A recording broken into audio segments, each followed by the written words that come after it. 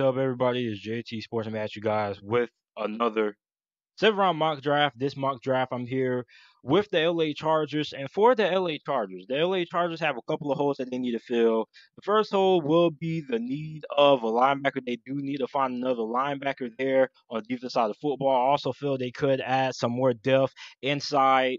Probably find another tackle to pair up with um Jerry Tillery down there and for the most part, this LA Chargers defense is going to end up being one of the best defenses in the NFL. They already have a pretty loaded secondary. They signed Chris Harris Jr.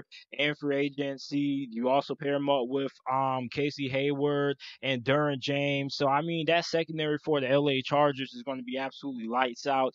Then you already pair that up with the fact they have two of the best edge rushers in the game and um Joey Bosa and uh, Melvin Ingram. Now on the offensive side of football, um I think they're pretty legit on the offensive side of football. I mean, the receiver position needs some work. Other than Keenan Allen and Mike Williams, they don't know who their third wide receiver is going to be. Now they lost Travis Benjamin. Um, they didn't bring him back, so they need another guy to fill that hole there at that third wide receiver position. I also feel they need to bring in another halfback as well. So before I get into it, make sure you guys like the video and subscribe to the channel. Upload NFL videos and college football videos daily. Also, make sure to follow me on my social media pages. My Twitter and Instagram is JT Sports underscore. Make sure you guys follow me on both of those. I post bonus content daily on both of those pages. The links to those will be down in the description down below. So with the first round selection, sixth overall, them selected linebacker Isaiah Simmons out of the University of Clemson. Now, a lot of people have them drafting either Tua or Justin Herbert.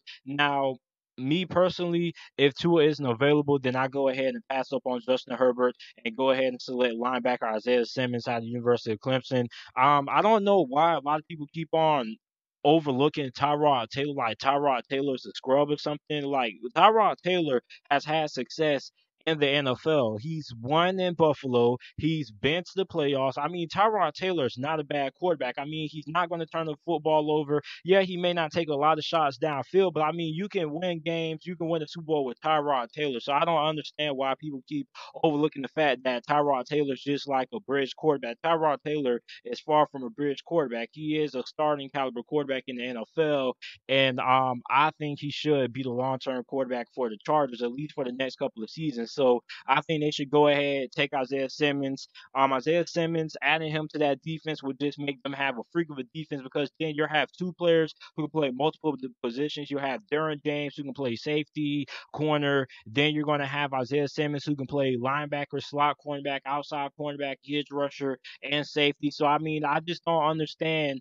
how you could end up passing up on Isaiah Simmons if he's available. I mean, bringing in Isaiah Simmons will make this LA Chargers defense really interesting. They will most likely end up having a top five defense. I mean, you're pairing up with Melvin Ingram, Joey Bosa, Derwin James, Chris Harris Jr. I mean, just think about how scary that defense will be with Isaiah Simmons on it. So I think if you're the LA Chargers, if I'm the general manager for the Chargers, I'm picking Isaiah Simmons, bump getting a quarterback. Um, it's really no point in drafting a quarterback when you have a Super Bowl window. I think the Chargers have a little bit of a Super Bowl window, and I don't really think it makes a lot of sense to draft a guy over Tyrod Taylor, which Tyrod Taylor is not a bad starter. Tyrod Taylor is a guy who can get the job done. He's had success in the NFL, and he is a solid quarterback quarterback. With their second round selection, 37th overall, having selected an offensive tackle, Ezra Cleveland out of Boise State University. This guy has great size, great length, great athleticism as well. He's also really balanced as well. He's probably one of the most he's probably one of the more on the look offensive linemen that we have in this draft class. Um, I have a second round grade on him. A couple of people have a second round grade on him as well.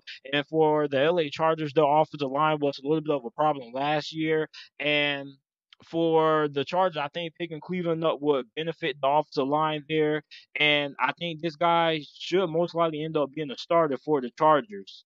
Now, with the third round selection, 71st overall, hasn't selected then wide receiver Gabriel Davis out of UCF. Now, a lot of people have a second round grade on Gabriel Davis. I'm not in that department. I have like a third round grade on him. Um, I think he has um, potential to be a okay wide receiver in the NFL. I don't think he really has that high of a ceiling, but I do think he's good enough to be taken the third overall, well, the third round for the LA Chargers. For the, simply for the fact that I think this guy could end up being a third option for the LA Chargers, end up competing for that third wide receiver spot.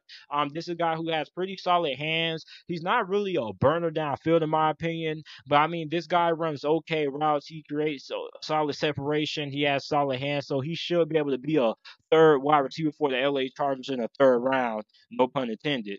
Now, the fourth round selection, I have one of my favorite names to pronounce is defensive tackle Benito Jones out of Ole Miss. Now, Benito Jones is he's strong, he's quick, and he's really fast. I mean, this guy is really agile for his size. Now, the downside with Benito Jones is the fact that he doesn't know how to handle double team block. So basically, if you double team him, you're basically going to take him out of the game. That's something that he really struggles with. Now, going to the LA Chargers, I don't think that will be too big of a problem since the fact that he'll be right alongside of Jerry Tillery right next to him. So I don't really think that should be too much of a problem there and being able to, to handle those double team blocks. We have another guy that should be able to take some of that away from you or limit some of those double team blocks or the impact and open up holes for you. But Benito Jones, man, this guy is fast. He's quick. He's agile. This guy is very fast. He also has a very good pass rush. Um, skill set as well. So I mean, Benito Jones will be a really good pick for the LA Chargers to pair up with Jerry Tillery. Now, after fifth round selection, 151st overall, have them selecting tight end Adam Trontrum Trautman out of Dayton University. I'm sorry if I mispronounced that name. It's late now I'm recording this. I'm sorry. But for um a good bit, a lot of people consider him the best tight end in his draft class because of his speed and his athleticism.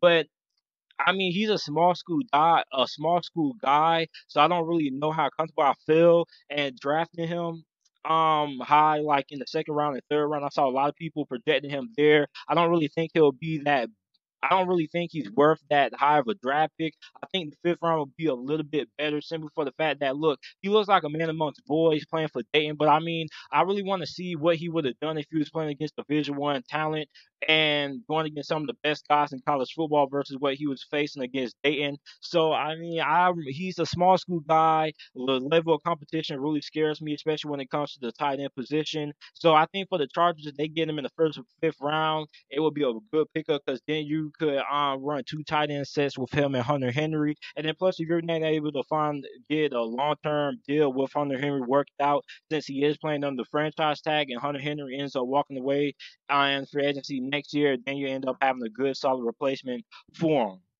Now, after six round selection, I have them selecting halfback DeeJay Dallas out of the University of Miami. Now they lost um, Melvin Gordon in free agency. Now they feel pretty confident in Austin and Ekeler, but I still feel they need another halfback to complement him. And I think halfback DeeJay Dallas would be a perfect fit for the LA Chargers. I mean, DeeJay Dallas, man, this guy is physical. He's stout. He's really good catching the ball out of the backfield. And as a Miami Hurricane fan, man, we really screwed over DeeJay Dallas. DeeJay Dallas probably could have had like 1,500 yards, maybe 2,000 rushing yards, kind of like a J.K. Dobbins caliber season if the offensive line was a lot better than what it was last season for the Hurricanes. So I mean, DeeJay Dallas is a really exceptional halfback. I think a lot of people are really sleeping on DeeJay Dallas and going to the Chargers there. He's a guy who would come in on like short down situations when it when it's like third and short or something like that, and he can end up being a really good one-two punch or a really good fill-in for Austin Ekeler when they need to give Austin Ekeler a break. He can also catch the ball out of the backfield as well.